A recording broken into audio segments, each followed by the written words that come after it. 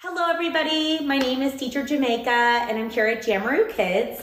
Today we're going to be learning a new fun scarf song. If you don't have a scarf, you can use a dish towel or a washcloth or a pillowcase or a bandana. Any piece of fabric will do. So we're going to make a rainbow over our heads, moving our scarf side to side, and we're going to paint rainbows. Are you ready? Painting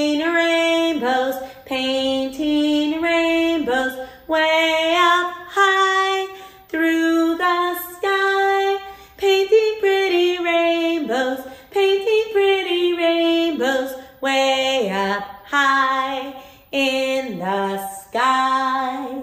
What colors should we put in our rainbow?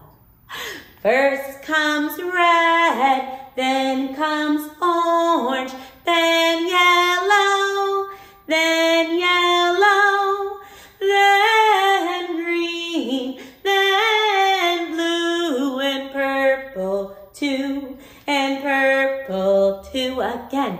Painting rainbows, painting rainbows, way up high in the sky.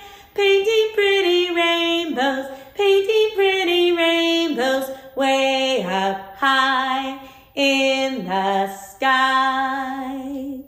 Thank you so much for coming, everybody, to sing with me today. Don't forget to subscribe to our channel by pressing the button below. Thank you.